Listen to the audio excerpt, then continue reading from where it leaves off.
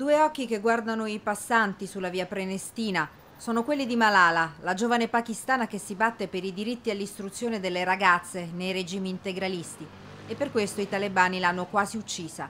Quegli occhi sono il focus di un murale che uno dei più quotati street artist del mondo ha realizzato sulla parete del MAM, l'ex fabbrica di salumi occupata due anni fa a Roma. Lui è Edoardo Cobra, Viene dalle favelas di San Paolo ed i suoi muri arlecchino colorano le capitali del mondo. A Malala ela è un simbolo Malala è un simbolo delle lotte contro la discriminazione femminile. Questo è un brutto momento per le donne. Violenze, aggressioni. A molte di loro viene impedito di studiare. Malala è un simbolo di pace. Essa mensagem di igualdade. La giovane pakistana ora sta bene, ha ricominciato la sua lotta. Ha dato il via a una campagna web per la liberazione delle 276 ragazzine rapite in Nigeria da Boko Haram, alcune già vendute per pochi dollari.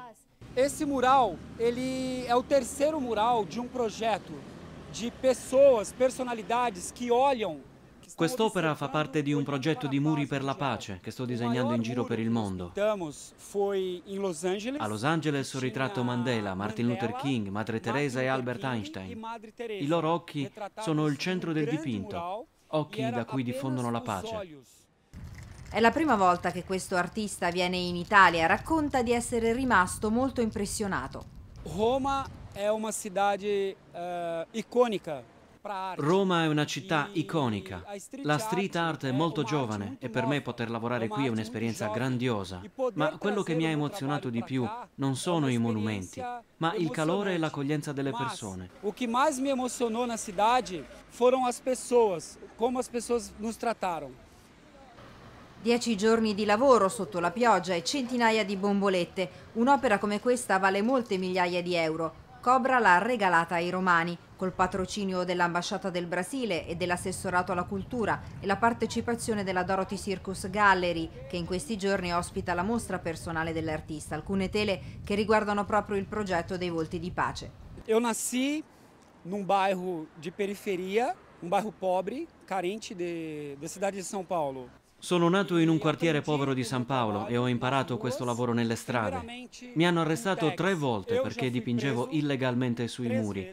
Detido uh, fazendo pinturas. Mas com o passar dos anos, uh, as autoridades ma col passare degli anni sono state le stesse amministrazioni ad autorizzarmi a farlo, in luoghi importanti come il centro di Los Angeles, vicino al Bolshoi di Mosca e a Times Square a New York como próximo a Times Square em Nova York. Então, muitos lugares uh, hoje o trabalho consegue chegar. Ad aiutare Cobra un giovane collaboratore è Aguinaldo Brito Pereira, brasiliano anche lui. A fianco di Malala hanno scritto la parola pace con i simboli delle religioni del mondo e la colomba con l'ulivo. Ora chiunque sotto potrà aggiungere, se vorrà, il proprio pensiero, perché una volta finita l'opera d'arte sul muro diventa di tutti.